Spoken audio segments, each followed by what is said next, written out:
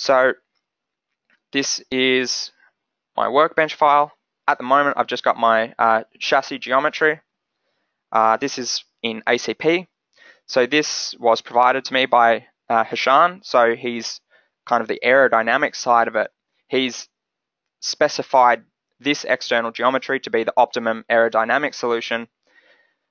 And then it's my turn to take that geometry and, and optimize the composite layup to give us the best structure. So what I mean by these external geometries is correct. We can't, we well, we shouldn't change any of the external dimensions because that's going to impact the aerodynamics. So we need to take these external faces and then deal with the composites inside these faces. Obviously, not everything on the, the structure is, is uh, critical. I'm going to be focusing on the chassis, this blue part here.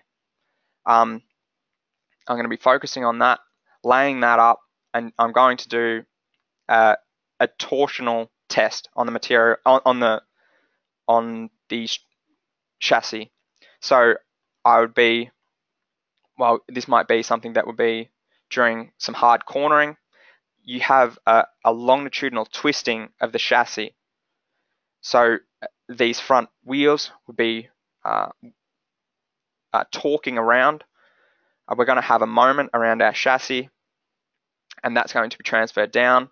And es essentially, the, the twisting is going to terminate at this, this rear kind of uh, connection to the engine and subassembly kind of thing. So because we're just looking at the chassis, a lot of the details of this model can go. Uh, we've got a lot of additional details that we're not going to need. So we have chassis there. I'm going to quickly show you what we've got. We've got the forward bulkhead here. You can see that this is solid geometry. Um, like I mentioned earlier, we need shell geometry to do the composite layup. Um, so the way that we would convert this into a, a solid, uh, sorry, a shell structure, it's it's nice and straightforward. We want the external faces of this structure because that's what's been uh, defined by our aerodynamics team essentially. So I'm going up here to select. So I can select any of these external faces. If I then double click, you can see I now have 46 faces. Um, it's just, it knows that I'm trying to pick the external surfaces of the structure. You can see it has missed a few, the, the forward bulkhead. So I'm holding control and I'm selecting that also. The rear bulkhead, I'm selecting that. Now all I'm going to do is do control C for copy. And now I'm going to turn off the chassis and do control V. I now have a surface of my composite chassis. So that's now shells, that's good to go.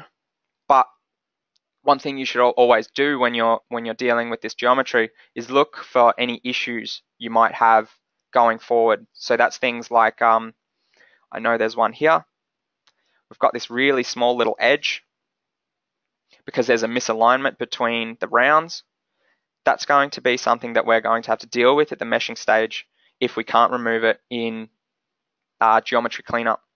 One of the other things is that because we took the external faces, sometimes they don't line up too well. I'm zooming in really far, but you can actually see that we have this overlap of the curves in this little area uh, based on the original geometry. So there's a lot of cleanup tools that are integrated into SpaceClaim. I'm just going to repair Stitch is a really good one. So that's going to look for gaps. So on these rounds, there was a gap because the, the 3D geometry, when we converted it into shells, it didn't pick up that edge correctly. So I'm just going to go stitch.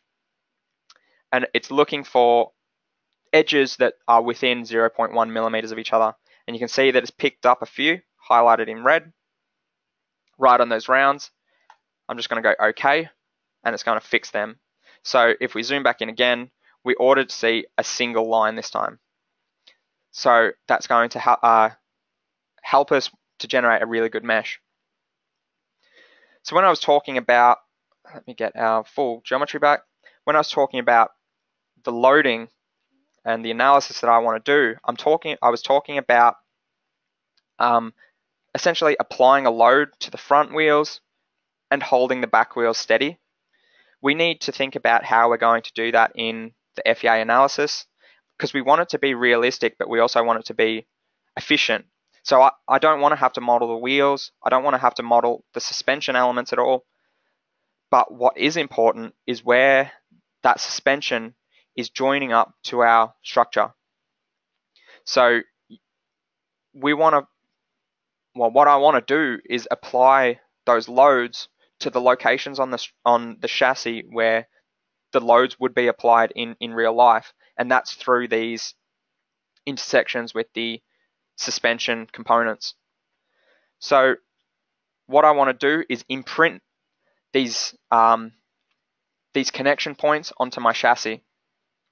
So I'm just going to get my surface chassis and the suspension. And also, I should have mentioned that, so the engine is attached to the structure. Well, this is the engine subassembly. It's, it's very basic. Um, that is attached to the chassis. The, the rear suspension is attached to that subassembly. So there is a location of contact between the chassis and this engine, which I'm going to imprint these little surfaces. So we go to prepare up the top and we have this imprint tool. So this is going to go through and it's going to find faces which are coincident to each other. So an intersection point. Um, you can see it's picked up a lot. Um, we have a red circle around each of the intersections of the suspension components as well as the engine. So I'm going to go through and say imprint. And now if I hide my suspension and my engine, I have these little patches on my structure, which is perfect for me to say apply a load to my structure through these patches. And that's going to be more realistic to the structure in real life. So one of the other things that I think would be cool to demonstrate is if this roll bar was made of composites. It's quite a complex shape. Um, this would be a really interesting example of, of some of the different ways that you could manufacture composites. So rather than laying up this big chassis, um, you could use a, a, a weaving machine or a winding machine to create this tubular structure and then you would set it in a mold uh, into this shape. So some of the things that you would need to do to analyze this component is a little different to the things that you would need to analyze this chassis. So I'm going to include it in my model. Again, you can see it's it's solid by this little icon. We need it to be shell. I'm just going to do select again. I have one face. I'm going to then double click and I have 33 faces. So I've got all of the external faces of my roll bar I'm going to do Control C for copy. Let's hide it. Control V. There we go. We have our surface for the roll bar. There's an intersection point. There's a new intersection point between my roll bar and the chassis. So let's do prepare, imprint. It's Picked up those faces. Imprint. So now I've got little patches there for them to be connected by. The next thing would be to think about how this chassis would actually be manufactured. If I just take this chassis in one piece over to ACP and say apply material, it's not going to be very realistic to the kind of um, fabrication process that it would take to build a chassis like this. You, you wouldn't build it in one piece. You would have two pieces and then you bond them together. So we need to think about how you would adjust this model to kind of simulate that fabrication process. And the way that I'm thinking of doing it is if we fabricated this component, top half, bottom half, in two different molds, and then bonded it together. So to do that, I want to cut my chassis in half. Um, so I'm going to go to design up here, and I just want to, I don't actually need to cut it, I just need to imprint an edge so I can then select my fabric shapes for the top half of the chassis and select my fabric shapes for the bottom half of the chassis. So I'm going to use this split tool. So it splits a face based on some different tools. So let's start off with the forward bulkhead. I've selected the face and I can use this tool to cut it in orthogonal directions. So if I want to cut it in half, I've gone onto an edge here and you can see that it's projecting a line that would cut it in half. This percentage that you see there, 41.1%, that's distance along the line. I'm at 41.1% of the length of that edge. So if I did 50%, that's going to be cutting it in half. So I'm going to type 50% and enter. So I, I now have that face separated into two parts, top half of the chassis, bottom half of the chassis. So I'm going to go through and do that for the rest of the structure. So this surface, because it has this curvature in it, it's a little bit more complicated than the front face, so I'm going to use a different tool. So rather than just orthogonally cutting, I'm going to select two points. On one edge, I obviously want it to line up with my initial cut, my initial split, sorry, and then I've got a second split point. So I get that percentage again, I'm going to type 50. I've then split the face down the middle. I'm going to go through and do this on all of them. So I select one point, 50, split. I'll do this on all of the surfaces that I need to, working my way around. 50, 50, nearly there. Uh, where are you? 0 to 50. So if you were to manufacture your chassis in a different way, you would just be modifying this stage to make it more realistic to what you want to do because that's going to have an impact in fiber orientations and fabric shapes that you want to account for in your analysis. Here we go, last one. Boom. So we have everything we need to then go through and select the top half kind of deal, like this, and then select the bottom half, and we can lay up our composite like we are going to in, in reality. Last thing, um, so I want to apply my loads through the wheels. So there is a, a, a distance between where I'd be applying my load and the structure.